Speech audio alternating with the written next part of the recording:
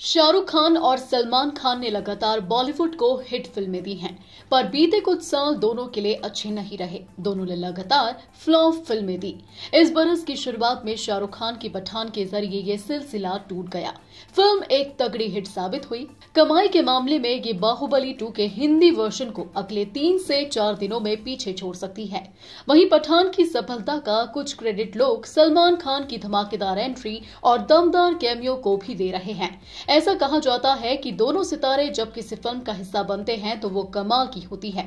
इस वक्त सलमान खान की फ़िल्म टाइगर थ्री को लेकर काफ़ी चर्चा है, और लोग इंतज़ार कर रहे हैं कि फ़िल्म बड़े पर्दे पर कब रिलीज़ होगी। हालाँकि आपको याद दिला दे कि सलमान खान की फ़िल्म टाइगर थ्री में भी शाहरुख खान नज़र आने वाले हैं। इस फ़िल्म में शाहरुख खान का भी कैमियो होने वाला है।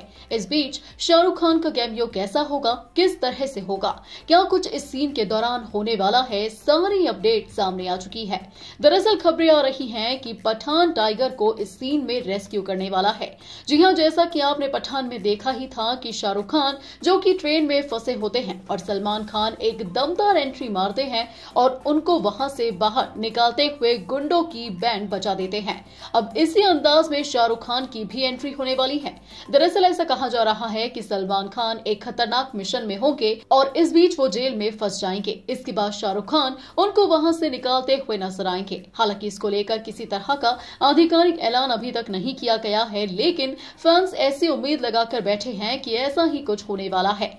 बता दें कि खबरें आ रही हैं कि शाहरुख खान इस सीक्वेंस की शूटिंग अप्रैल के महीने में करेंगे। अभी वो जवान की शूटिंग में काफ़ी बिज़ी हैं। जवान दो जून को रिलीज़ होने वाली है। वहीं टाइगर थ्री भी इसी साल दिवाली पर, यानी कि 10 नवंबर को रिलीज़ होगी। ये वायरफ स्पा यूनिवर्स का हिस्सा है। ये यूनिवर्स शाहरुख खान के पठान के ज़रिए शुरू किया गया है। इसमें पठान, टाइगर, कबीर जोया और रुबीना के किरदार शामिल है।